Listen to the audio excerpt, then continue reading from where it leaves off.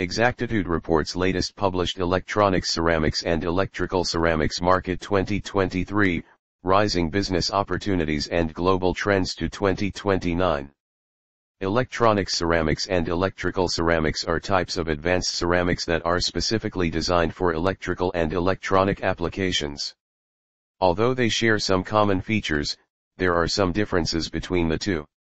Electronic ceramics are materials that exhibit semiconducting or insulating properties, making them useful for electronic devices such as transistors, capacitors, and resistors.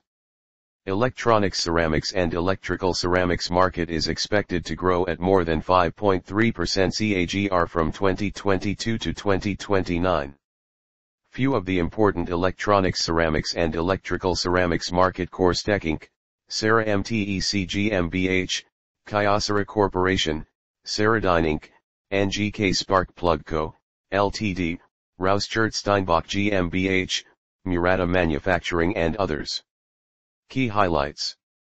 Electrical ceramics are typically made from metal oxides, such as barium titanate, lead zirconate titanate, and magnesium oxide, and can be fabricated using a variety of methods, including pressing and firing.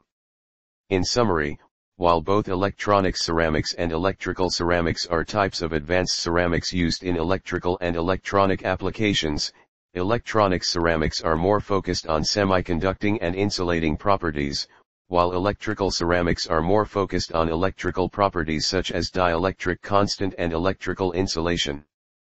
Furthermore, the electronic ceramics and electrical ceramics market segmentation is divided by product type and by material type.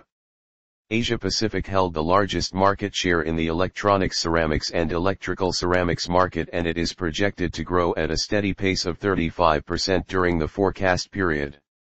Thank you for watching us. For more information visit us at exactitudeconsultancy.com.